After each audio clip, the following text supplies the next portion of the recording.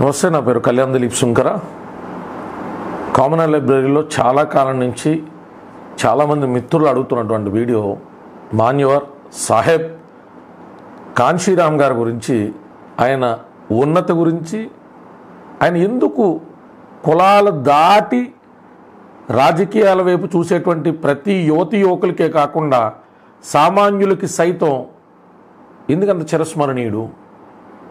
కాంచీరామ్ గారి గురించి పెద్ద పెద్ద రాజకీయ నాయకులు బడా నేతలు అడపాదడపా మాట్లాడడం ఆయన స్ఫూర్తి తీసుకున్నామని చెప్పడం టీవీలు అక్కడక్కడ కనపడడం మినహాయించి గొప్పగా అయితే ఆయన చేసినటువంటి సాధించినటువంటి విషయాల్ని ఎవరో ఎక్కడ కొనియాడుతున్నట్టు మనకు వివరిస్తున్నట్టు కనపడదు జస్ట్ తలుచుకుంటారు అంబేద్కర్ గారిని కానీ కాంచీరామ్ గారు కానీ పూలే గారిని కానీ ఏదో దళితుల ఓట్లు తీసుకోవాలనేటువంటి ఉద్దేశంతో స్పృశించేటువంటి వ్యక్తులే అదుకుని తప్ప వాస్తవికంగా వాళ్ళు చేసినటువంటి సేవలు ఏంటి వాళ్ళ అత్యున్నతమైన శిఖరాగ్రహాలకు చేరుకోవడానికి చేసిన కృషి ఏంటి అని మన వరకు వివరించాం.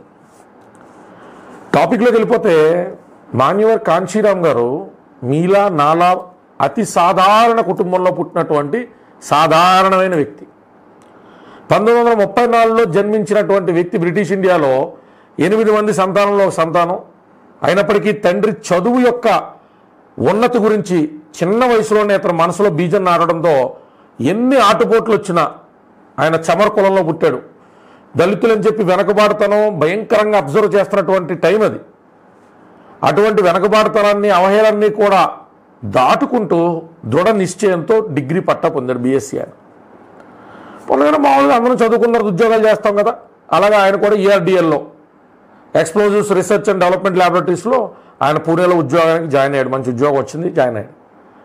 ఆ మహనీయుడు మొట్టమొదటిసారి డిస్క్రిమినేషన్ గురించి వినడం డిస్క్రిమినేషన్ ఉన్నది అంటే చదవడం annihilation of caste Babasaheb Ambedkar గారి పుస్తకాల్లో చదవడం ఉండడం తప్ప నేరుగా అతనికి తాకి బలంగా తాకి ఆలోచనని డైరెక్షన్ని మార్చేసినటువంటి ఉదంతం ఒకటి జరిగిందని ఉద్యోగం చేస్తున్నప్పుడు. అదేంటే అంటే ఒక సహచర ఉద్యోగిని బాబాసాహెబ్ అంబేద్కర్ గారు పుట్టినరోజు ఈరోజు నేను సెలవు తీసుకుంటానండి. మేము అంబేద్కర్ గారికి సంబంధించినటువంటి విషయాలన్నీ కూడా మేము అందరం పంచుకుంటామండి. అంటే ఆమెని నువ్వు సెలవు తీసుకున్నట్టయితే ఏకంగా ఉద్యోగం నుంచి మానేని చెప్పి ఆమెను ఉద్యోగంలో తొలగించారు. ఒక్కసారి షాక్కి జోల్ట్కి గురైనటువంటి కాంచీరామ్ గారు ఆలోచనలో పడ్డాడు ఆయన. అంటే ఇచ్చేవాడికి తీసుకునేవాడు లోకువా? లేకపోతే టాప్ పొజిషన్స్లో ఈ brahminical other communities dominant communities ఉన్నాయి కాబట్టి మాకు ఈ రకమైనటువంటి విధానమా? దేశానికి అంత అత్యున్నతమైన సేవలు అందించినటువంటి వ్యక్తి బాబాసాహెబ్ అంబేద్కర్ గారు పుట్టినరోజు నేను సెలబ్రేట్ చేసుకుంటానంటే ఒక్కరోజు సెలవు ఇవ్వకుండా ఉద్యోగాలను తొలగిస్తారా? అసలు ఏంటి? ఒక నేను పనిచేస్తున్న ఏఆర్డిఎల్లోనే కాదు యావత్ దేశం మొత్తంలో కూడా దళిత బహుజనులు ఓబీసీలు ఎస్సీ ఎస్టీ మైనారిటీలు వీళ్ళలో విద్యావంతులైనటువంటి వ్యక్తులు కూడా ఉద్యోగాల్లో పడుతున్నటువంటి బాధలు ఏంటి అని ఒక ఆలోచన కలిగి ఇమీడియట్గా జాబ్ మానేసి తనకై తను ఒక యాక్టివిస్ట్ కింద మారి ఆయనకి ఏ సపోర్ట్ లేదు. ఎప్పుడు కాన్సీరామ్ గారు ఎప్పుడు మీడియా మీద దాడి చేస్తుండేవాడు. బ్రాహ్మణికల్ మీడియా ఎప్పుడు ఇతను కన్సిడర్ చేసేవారు కాదు. ఇతను చూపించేవారు కాదు. ఇతను ఆలోచనలు బయటికి రాకుండా ఎప్పటికప్పుడు ఆలోచనలు కప్పెట్టడానికి ట్రై చేసేవారు. కానీ ఆగుద్దా? ఆగుద్దా? అది జరుగుతుంది అది. అరసే అడ్డుపెట్టి సూర్యకాంతిని ఆపే వెళ్తారా శక్తి ఉంటుందా? మూర్ఖ ప్రయత్నం కదా. అలాంటి వ్యక్తి ఫస్ట్ బిఏఎం సిఈఎఫ్ అని చెప్పి బ్యాక్వర్డ్ క్లాసెస్ అండ్ మైనారిటీస్ సంబంధించి ఒక ఎంప్లాయీస్ ఫెడరేషన్ అనేటువంటి స్థాపించాడు ఆయన. దానితో పాటు ఎంప్లాయీస్ అందరినీ కూడా ఎడ్యుకేట్ చేయాలి. వాళ్ళ రైట్స్ ఏంటి అనేటువంటి తెలియజేయాలి. వాళ్ళని వాళ్ళ పట్ల జరుగుతున్నటువంటి అట్రాసిటీస్ని ఎదిరించేటట్టుగా వాళ్ళకి శక్తిని ఇవ్వాలని చెప్పి ఆయన కాంక్షించి స్టార్ట్ చేశాడు ఆయన. ఒక్కడే ఓ డొక్కు సైకిల్ వేసుకుని తెగ తిరిగేస్తుండేవాడు మనిషి. ఎక్కడికైనా సరే ఒంటరికి వెళ్ళిపోతుండేవాడు. ఆయనకి ఇష్టమైన పని ఏంటంటే జనాలతో చిట్చాడు కూర్చొని చెప్తుండడు మన ఆలోచన ఇది నేను ఎందుకు పెట్టాను ఈ ఫెడరేషను నా నా నా విజన్ ఇది నేను దూరం వెళ్దాం అనుకున్నానని అత్యధికులైన ఎక్కువ మంది వ్యక్తులతో మారుతుండేవాడు బాబాసాహెబ్ అంబేద్కర్ గారు అంటే హైలీ క్వాలిఫైడ్ హైలీ ఎడ్యుకేటెడ్ మంచి సూటు బూట్ వేసుకుని టిప్ టాప్గా బాగుంటాడా మనిషి? నాకేమో అలా బట్టలు వేసుకోవడం రాదు నేను చాలా సింపుల్గా నాకు ఉన్న దాంట్లోనే సర్దుకుంటాను. ఒకసారి చిరిగిపోయిన బట్టలు వేసి తిరిగి కూడా మనిషి. సాధారణంగా అలా అన్నం తింటున్న చోట కూర్చుని తినేస్తున్నాడు అతను. ఏ రోజు నేను గొప్ప నాయకుడిని ఆ భావన మనసులోకి కూడా రానివ్వాల. మామూలుగా నాలుగైదు సార్లు పది మంది జనాలు పోగొడితేనో ఒక రకంగా రాగానేనో మనకే మనకి అహంకారం వచ్చేది. అంటే మనం చాలా పెద్ద లీడర్. ఆ ఆలోచనలు ఏమీ రానివ్వాల గొప్ప వాళ్ళు అంటే గొప్ప ఆలోచనల నుంచి గొప్ప వాళ్ళు అవుతారు. మనలాగే పుడతారు సామాన్యంగా. అసామాన్యమైనటువంటి ఆలోచన విధానంతో స్ఫూర్తి ప్రదాయకులుగా మిగిలిపోతారు. ఆ బిఏఎం సిఎఫ్ పెట్టడంతో పాటు ఆగలా. దళిత శోషిత సమాధికి సంబంధించి డిఎస్ ఫోర్ అనేటువంటిది సంఘర్ష సమితి లాంటిది ఒకటి పెట్టి మళ్ళీ దళిత భోజనుల గురించి ఆయన పోరాటం చేస్తూ వీళ్ళ లేని రాజకీయం లేదు అన్న స్థాయిలో నేను తీసుకెళ్తానని చెప్పి ఆయన చెప్పడం జరిగింది. అసలు రాజకీయాలంటేనే డిసైడింగ్ ఫ్యాక్టర్ కింద దళితులు మార్చేస్తారని తీర్మానించుకున్నప్పుడు అందరూ నవ్వారు అవహేళన చేశారు. అవుద్దా? జరుగుద్దా? జరిగింది. ఉత్తరప్రదేశ్లో నాలుగు సార్లు మాయావతి అని చెప్పి ఆవిడ నేనే ఒక స్కూల్ టీచర్ కింద ఆవిడ గవర్నమెంట్ స్కూల్లో ఒక లెక్చర్ ఇస్తున్నప్పుడు చూసి ఎంప్రెస్సే గ్రూమ్ చేశారు. లీడర్స్ లీడర్స్ని తయారు చేస్తారు కదా. అసలే లీడర్కి ఇప్పుడు ఇన్సెక్యూరిటీ ఉండదు. అరే వీళ్ళకి ఎలివేషన్ ఇద్దాం వీళ్ళకి పైకి లేద్దాం అనేటువంటి ఒక ఒక ఆ స్ఫూర్తి ఉంటుంది. ఆ విజన్ ఉంటుంది. మాయావతి గారు లాంటి వ్యక్తిని గమనించి ఆవిడకి ఆ రకమైనటువంటి లైఫ్ ఇచ్చారు. ఆవిడే కాదు కొన్ని వేల మంది లీడర్స్ని తయారు చేశాడు ఆయన. అట్లాంటి మాన్యవార్ సాహెబ్ కాంశీరామ్ గారు జీవితంలో ఒక ఘట్టమని లేదు. దళిత బహుజనులను ఐక్యం చేయడంతో పాటు ఎన్నో పొత్తులు పెట్టుకునేవాడు. రాజకీయంగా ఆయన బీఎస్పీ పార్టీ పంతొమ్మిది వందల ఎనభై నాలుగులో పెట్టేదాకా అంతకుముందు చాలా సంస్థలు స్థాపించినా కూడా ఆయన ఆయనే పోలబాట కాదు. ప్రయత్నించాడు ఓడిపోయాడు ప్రయత్నించాడు ఉనికి చాటుకున్నాడు ప్రయత్నించాడు గెలిపేంటో చూపించాడు. కాంశీరామ్ అనేటువంటి వ్యక్తి ఒక్కడే వచ్చి లక్షల మంది గుండెల్లో నిద్రపోయాడు ఆయన. లక్షల మంది కులాధిపత్యంతో కొట్టిమిట్టాడేటువంటి వ్యక్తులు కళలో కళలో ఒక భయానకమైన కళ కింద మిగిలిపోయాడు ఆయన. జనాల్లో వెళ్ళిపోయాడు సొంత పత్రికలు స్థాపించాడు. ఒంటరి. వేల కోట్ల రూపాయల బ్యాకింగ్ లేదు. ఆ అంటే ఊ అంటే డప్పు కొట్టే మీడియా లేదు. ఓ గొప్పదైనటువంటి ఆలోచనే ఆయుధం కింద మలుచుకున్నాడు. లేదు ఈ ఇన్ఈక్వాలిటీని ఈ అన్జస్టిస్ని కూడా ప్రశ్నించాలి.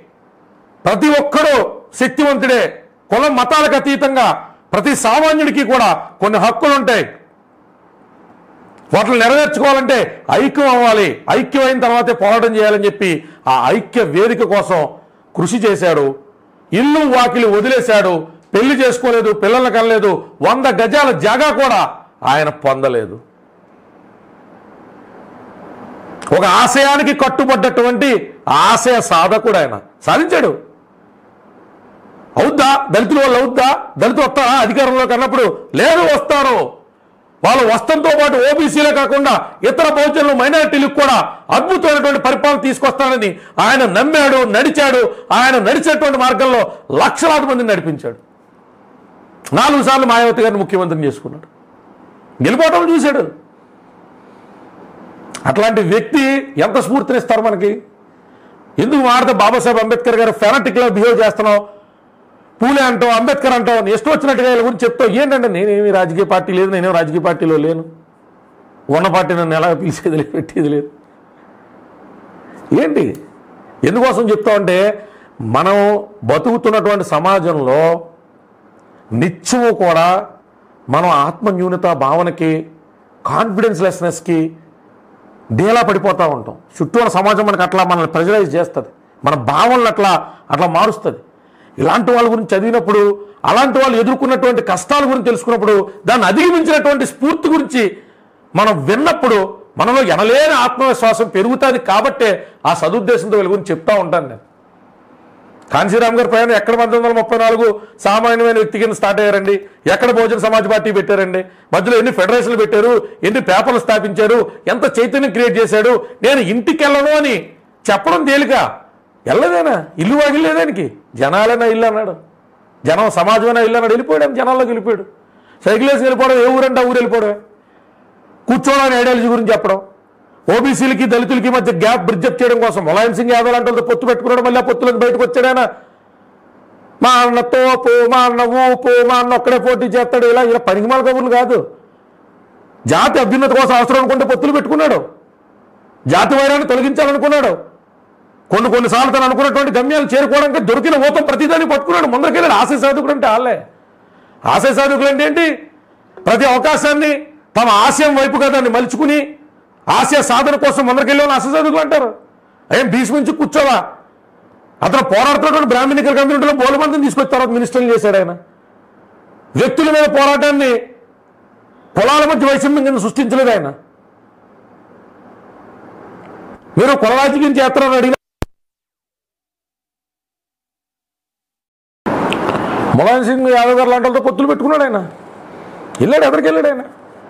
ఆశయ సాధన కోసం అన్ప్రెడిక్టబుల్గా ఉండేవాడు ఆ మనిషి. అసలు ఏ రోజు మీడియా చూపించేది కాదు కన్సిడర్ చేసేది కాదు అతని నాయకత్వాన్ని. మొత్తం తలకిందులు చేశాడు ఆయన. వేల కిలోమీటర్లు ఒక డొక్కు సైకిల్ వేసుకుని ఆ సైకిల్ మీద తన మాటే ఆయుధం తన ఆలోచన ఆయుధం కింద వెళ్ళినటువంటి వ్యక్తి కాంశీరామ్ గారు. సాధ్యమా? సినిమాల్లో తప్పని జీవితంలో అసలు ఊహించుకోగలుగుతావా?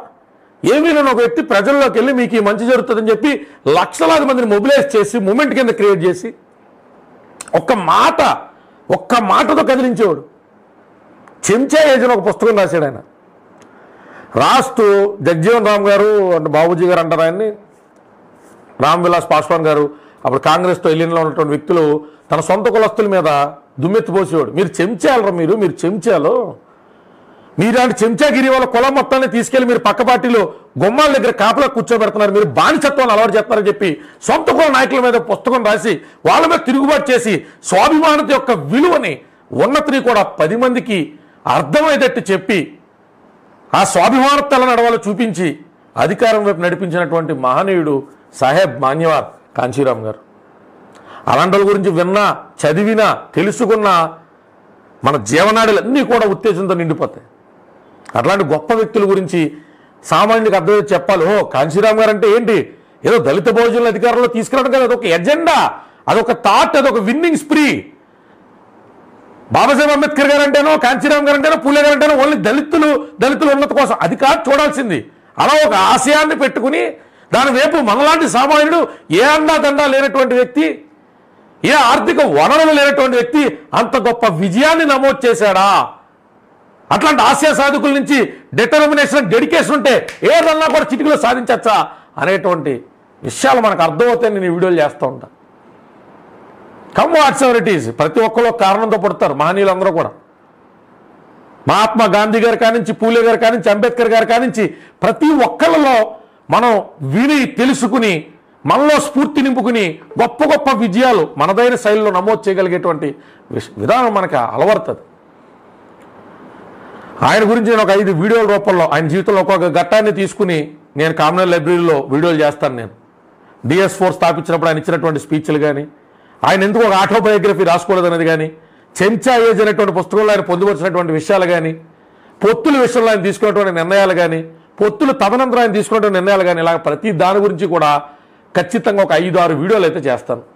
కాంచీరామ్ గారిని అయితే ఇప్పుడు స్పృశించండి గుర్తుపెట్టుకోండి. ఆయన గురించి చదవండి తెలుసుకోండి. మహానుభావుడి గురించి చెప్పుకుంటూ పోతే ఎన్నో గొప్ప విజయాలు ఎన్నో గొప్ప విజయాలు. రాజకీయంగా పార్టీ పెట్టి పెట్టగానే అధికారంలోకి రాలా? ఓడిపోయాడు ఓటమి చూశాడు ఆయన. అతి తక్కువ జనాదరణ చూశాడు ఆయన. లోక్సభకి ఎన్ని కావడమో చూశాడు ఆయన. తన గ్రూమ్ చేసినటువంటి లీడర్ ముఖ్యమంత్రి అవడమో చూశాడు ఆయన. ఎన్నో గొప్ప విజయాలు ఎన్నో గొప్ప ఆటుపోట్లు. ఎప్పుడు డెవలప్ అడ్లా ఎప్పుడు వెనుతిరగల.